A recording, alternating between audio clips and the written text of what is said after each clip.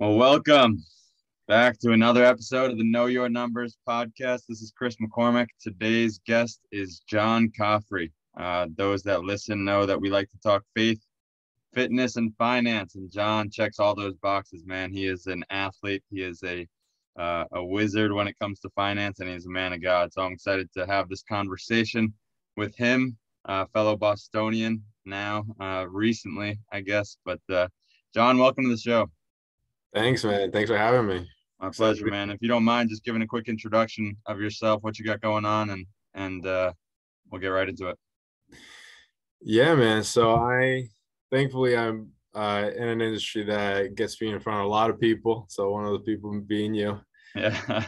love that aspect just because a ton of interesting pa- uh, stories and and different walks of life. Honestly, being um, in the financial services and giving people you know the best advice as to you know truly what it means to get financially free and really trying to honestly be trying to financially organized as well. Honestly has been a very bright spot. So i think in my career and you know being able to understand people's goals their concerns things that kind of leave them confused and and you know kind of leave them unfocused mm-hmm. has has given me such an ability, uh, such a platform to speak on. So I, I can't say good enough good things about it.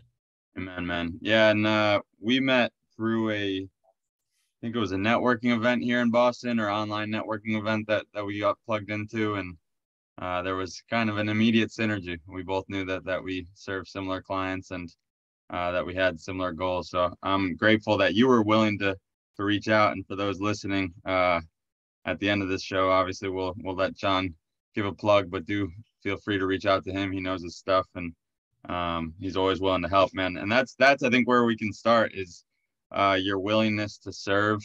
I know when we've sat down uh, in the past for coffee or whatever it was, uh, one thing that came to mind, one thing that struck me was the way that you approached uh, the service that you're in. You know, um, you mentioned getting a feel for what people's goals are, but also uh, sometimes it can be tough when you're selling certain products. You know, you're in the life insurance industry, and uh, with that comes some difficult discussions uh, depending on the outcome of someone's life. But I'm curious, Jon, is how you approach your service and how you've developed that service mind and how that's helped you um, in the business world and in your life in general?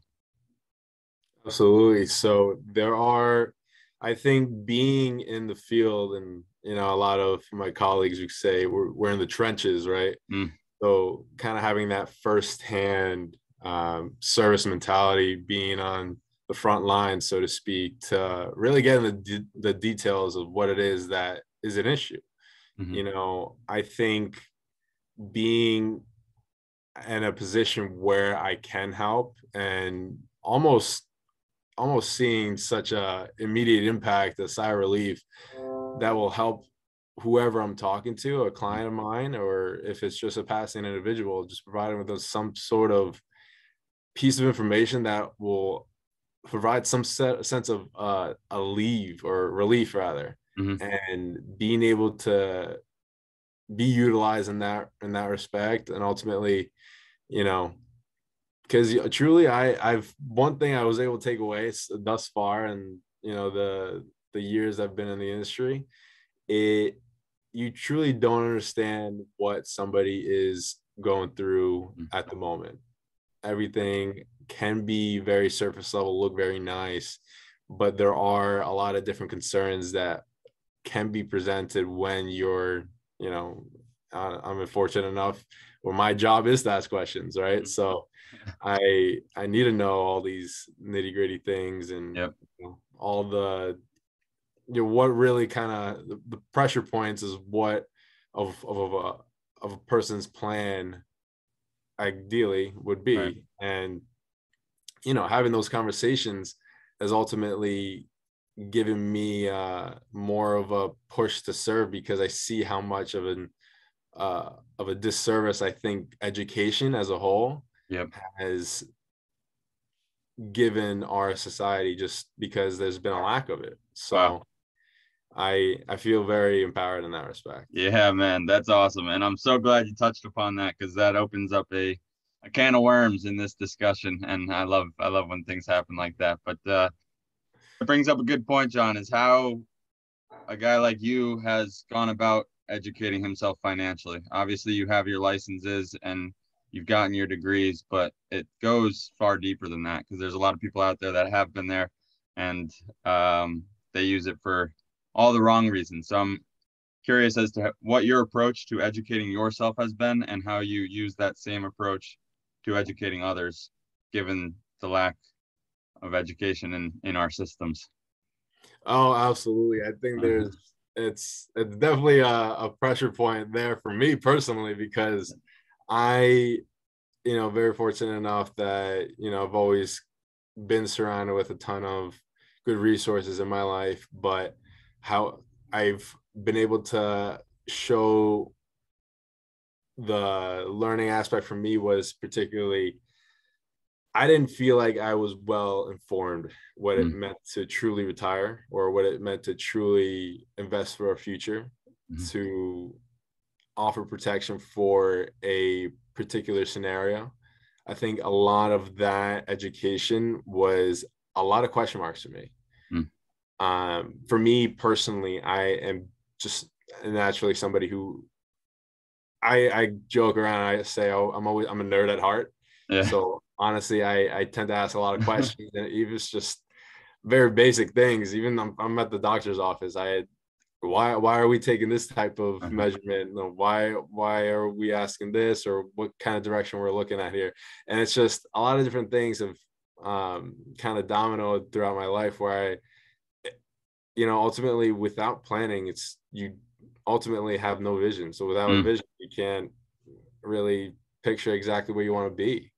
So I think that's just at a basic fundamental life lesson. And I think people, you know, just generally like, you know, the when it comes to a story, people like pain. That was the probably the biggest question mark I had for my life because I want I know I wanted my life in the future when I'm 50, 60, you know, going into my seven the retirement years.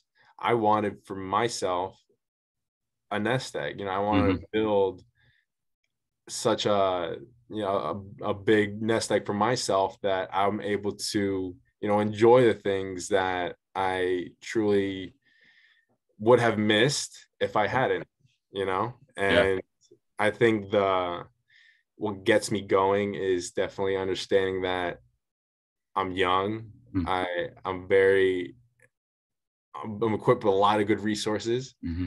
and being able to speak at a platform where I am, where my job allows me to just funnel my energy towards it. Yep. I, it's it's hard to hard to not succeed in that. Yeah, so. that's awesome, man. And I love the way you uh, bring your heart into it and uh, you come full force, man, because it shows who you are and that you really do want to help, and uh, that's what it's all about, man. I, I you mentioned the youth factor and being young, and sometimes I think that can be a an obstacle to overcome, right? We think that we're too young and therefore we shouldn't pursue these opportunities or why would somebody with money understand or look to the guy the younger guy to um, manage his money and so i'm speaking from personal experience i've struggled with that in the past and people have asked me like do you ever deal with imposter syndrome or something of the like where you don't think you have it all because there's people with a lot of money coming to you for solutions. So how have you jon gone about that? Have you faced that or, or are you just 100% confident all the time and, and don't have to worry about those kind of problems? Oh man it's i for sure early on have struggled with those types of conversations. Absolutely. I think I'd be um I'd be the imposter myself if I said no. so I but honestly, it, it really comes down to at the end of the day, you have to know your worth, understand what you are bringing to the table, understanding that value behind it. Because at the end of the day, like I mentioned, pain is pain. If you haven't mm-hmm. talked about these, or at least you know at the minimum have had conversations with the ones you love, yep. With these particular, you know, whatever it is, service. It could be anything. Mm-hmm. It's gonna it's gonna hit you and rub you in the wrong way, you yep. know, or it's going to bring up a thought that may go back to having a, the conversation with a loved one mm. because ultimately you know if you understand the importance behind whatever it is that you're doing i don't think that there are going to be many things in life that are going to shake you if yeah. if anything because right. ultimately at the end of the day if you're being placed in a position to make change it's it's going to be met with a lot of resistance. Yeah absolutely. There's no getting around it. Yeah but you know walking with that confidence it's you know don't get me wrong get you, if there are those there are going to be the moments where you are going to have those um and in my industry we call it the upside down bell curve where it's you start you start and you're uh-huh. talking to anybody and everybody but yeah. then you come to this dip where it's like you're understanding that things are getting really tough and you're going mm-hmm. through those seasons where it's very almost unbearable to get through because you know financially you want to sustain yourself. Right. But if you're able to sustain yourself through that, you see the up curve on the other end, and it's a beautiful thing. so that's awesome, man. Wow, I've, uh, I haven't heard it said like that, but that is kind of how I've said it myself. Like I always find that there's a battle, and then right after the battle, there's a glorious victory, and that's kind of, uh, I think, where the Bible comes in, and, and that's kind of where I shape my life is knowing that whenever there's a hard time, there's something else uh, far greater on the other side of that. But I like the uh, as a numbers guy, I like the bell curve analogy too.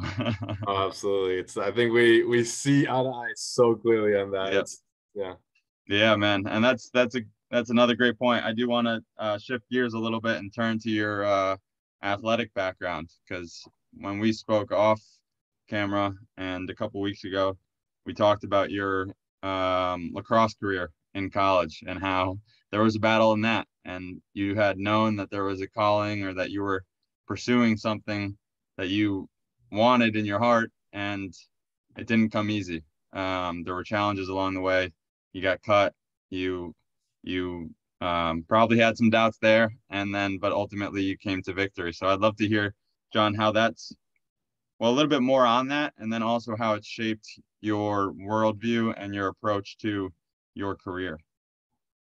Sure. So yeah that was that was a time that was a time for sure i think ultimately for me was you know you kind of talk about you know i mentioned pressure points i think at a life outlook um if you look at things that you know kind of gut check moments, things that are able to really truly help mold your character. Those things, that time was definitely one of those times. Absolutely. Yeah. I think that was probably my first big kind of, you know, adult gut check, gut check moment. Just ultimately because I found myself in a place where I was almost up against the wall, you know. I I was so used to you know, just naturally gifted. And I was, you know, thankful. Like I said, there was a lot of good things going my way up until this point. Mm-hmm. So being at a at a crossroads where I'm like, okay, um, I I'm, I get to college and I think I'm this hotshot athlete, and then you know, ultimately I wanted to play a Division One sport in college, and it was lacrosse for me.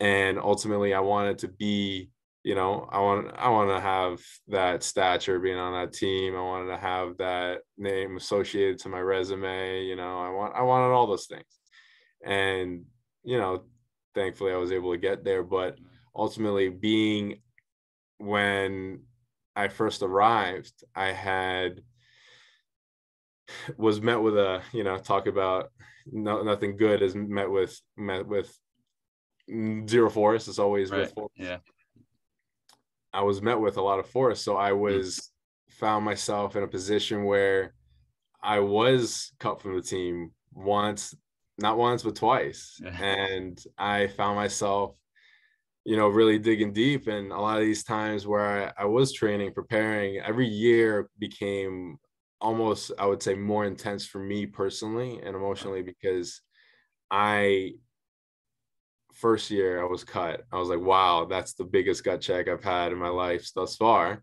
Yep. And then I trained so hard. And then throughout a whole year's duration, while still maintaining some sort of uh, level with the team, I, I, knew if I wasn't a part of the team, I at least wanted to get as close as possible. Yep. So I became a manager for those three, two, uh, two years. Wow and was a manager for both full seasons. I was doing everything. I was like almost like a Cinderella kind of story because I had it's hysterical because I think you think Cinderella and I was the guy washing clothes. I was the guy preparing all the all the all the uniforms on game day. I was mm-hmm. doing anything and everything just to get me in the same environment as these guys because for me personally that was something that I truly wanted to attain and being able to get everything as much as I could of that out of that experience uh, and not playing was the best thing for me, but it ir- irked me down to the core mm-hmm. because I knew that if it wasn't for if me if I wasn't upheld by my faith in God, if I wasn't understood that this is going to take some serious willpower and you know you're going to be uncomfortable mm-hmm. probably you know a good significant amount of time throughout the day that you are awake because of this is all you know playing a big component in your head mentally yeah. you know all these things were for me ultimately something that i was able to lean on and say all right this is i can i can put up or shut up you know yeah. that saying because at the end of the day if i really wanted this it's something that i'm going to go 100% on absolutely Wow. Yeah, and that's again a testament for who you are, and I mean it's got to go back to the way you were raised. But uh, brother, I love to hear it. Even even now, it's like bringing chills to my my spine just thinking about the way the grit that you had at such a young age. Because I mean, college, man. I mean, athletes have a different mindset for sure, but uh, college you can go one of two ways, and uh, you chose one. I I happen to choose the other, where I was like, ah, oh, this doesn't matter. I'm gonna just uh, blow myself up and just live live uh, recklessly. So it's good to see that there are other people making good decisions with their time in college. So honor to you for that. Um, and I also I think something you touched upon there is like hanging out with the team, even though you weren't on the team per se. And I think that goes to uh, goes to show like the importance of the people that you hang out with and, and, the crowd that you keep around. And so for me, I, I like to think of having mentors and, and building relationships as one of the most important aspects of anything really uh, fitness finance career oriented like you want to be around people that have some fruit in their life. And so i'd love to hear about how that's shaped you in your career. Um, i'm sure there's some great mentors in the organization that you're at right now. And um, i'm sure they've had a positive impact on your life. Absolutely. I had um I, I, we have it on uh, unexpected visitor here. Oh, yeah. um, but yeah, I mean, absolutely. I think for me personally, you know, it ultimately for me, I felt such a challenge finding that sense of community. Mm you know that was probably the biggest thing biggest hurdle that i found because you know yes i i did surround myself as much as i could with people that were like-minded and felt like you know that they wanted to get something out of the college years which is i mean I'll, I'll, at the end of the day it's where you know everybody at a young age they're they're going to college they're going uh, for a good time and yep. that's not I'm not bashing that by any means. I just I for me personally, I had a purpose that I wanted to like, get um, out of my whole experience, and I think honestly it goes back to that whole entire idea of being being a visionary with whatever mm. it is you're trying to do with your life. Because honestly, when I'm when things are tough, it's hard to move without a vision. It's hard to move when you're trying to whatever it is that you're trying to do get that into some sort of lens as to kind of depict what it's supposed to look like for you you know and obviously everything that you do is going to put you in a position every relationship that you come across is going to refine your your picture and make things a little more clear kind of like using the analogy of like redefining your focus on like a lens you know right. things slowly going to get more uh to that clear picture as yeah. that you truly want and for me that i wasn't really able to find that true sense of like community probably until mm-hmm. junior year i think i found myself you know not really dedicating so much time to i want to say much of a social life yeah uh, but i it was for me like i didn't really have an urge for that you know mm-hmm. there were a lot of times where you know it's you want to enjoy that college experience but i honestly in the moment i didn't think about that yeah. it was something that i didn't really see as so much of a valuable part into what I was trying to do, honestly. So that was kind of ultimately what for me was trying to find that sense of community and you know honestly just consistent in my prayer i mm. i had and i tell the story a lot i know eh, some of my friends know this but you know i wanted to have um a community around me a friend that I can go ahead and continue to pour into spiritually and just mentally as well. Mm-hmm. Um, and that was I knew that was going to be a, a hurdle going into college just as a whole. And that was a prayer that I prayed senior year of mm-hmm. high school.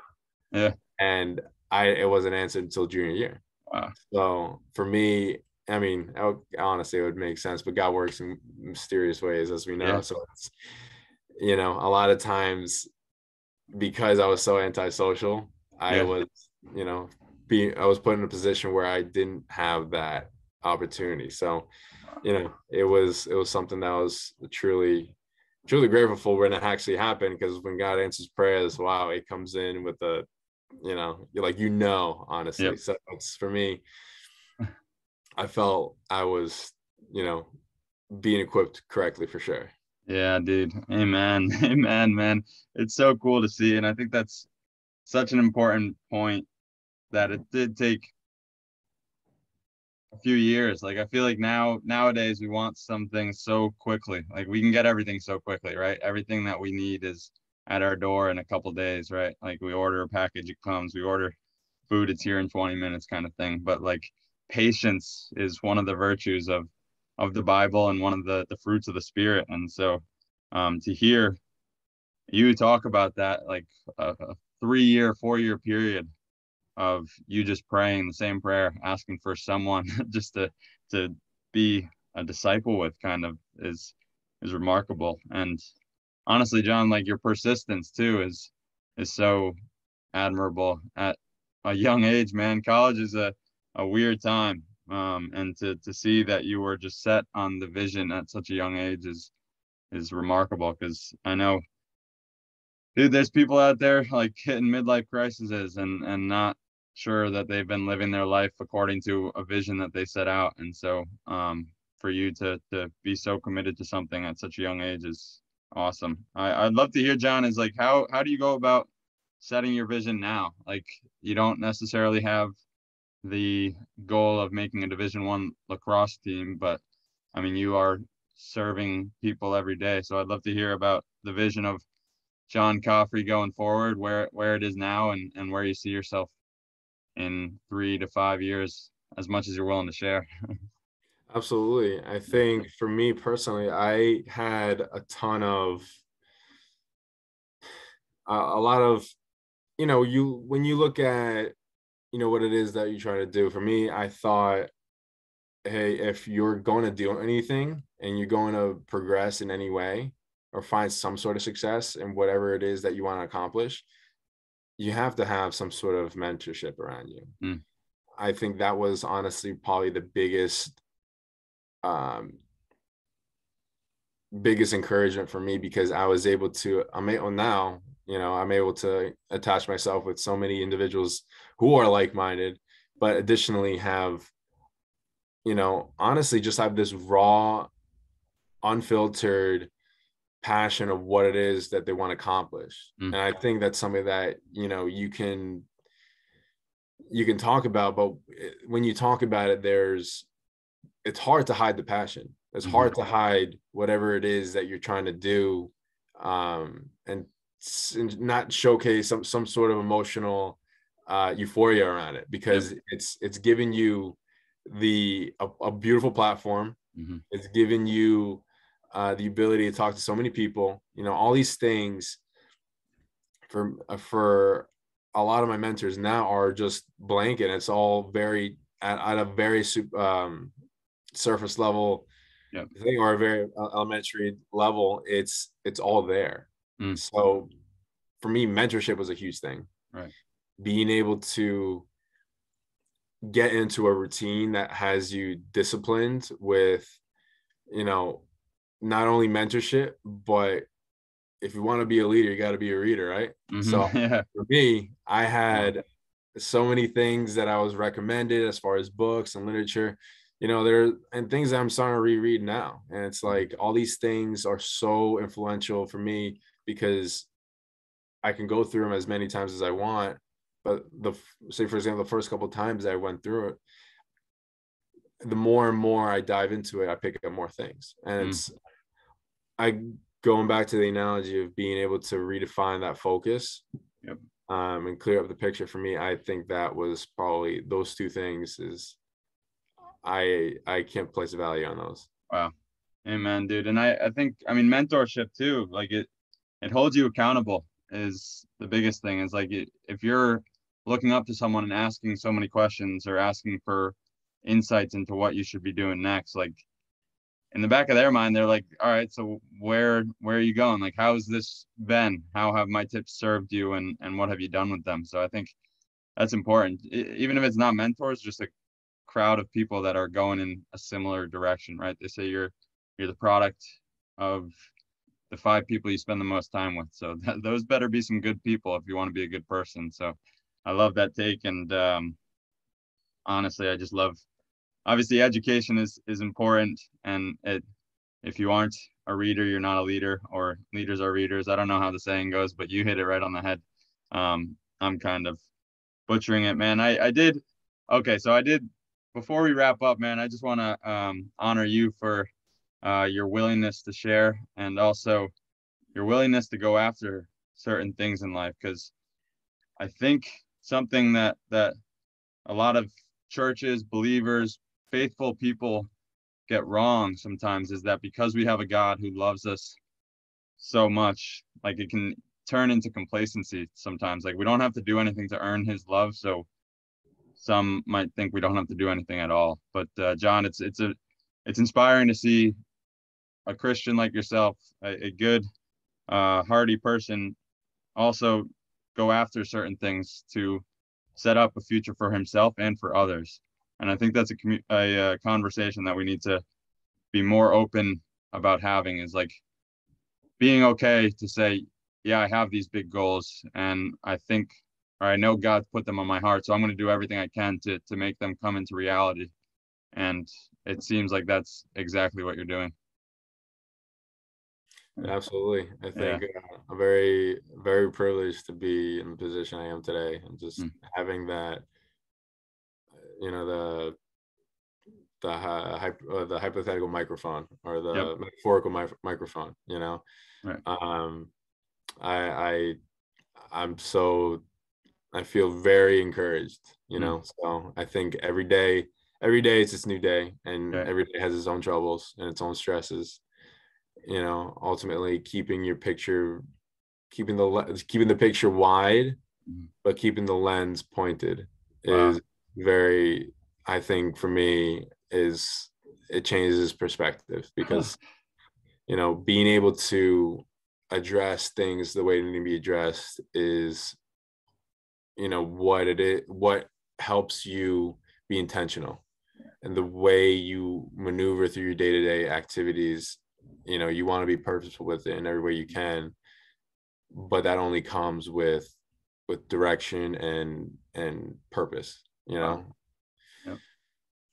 That's good, man. I mean, you came with the analogies, brother. You came with the metaphors, and I, I love it. I've learned uh, quite a bit just through this conversation, man. So I just want to honor you, bro. I, I love the way that you show up. I love being able to to link up with you and and run this race as well. I know this is the first or the third, I guess, of many conversations, but uh, I know there will be plenty in the future, man. Before we wrap up, there is one question that I ask all of our guests here on the Know Your Numbers podcast. Jon Cofre, what is one truth about money that most people regard as myth?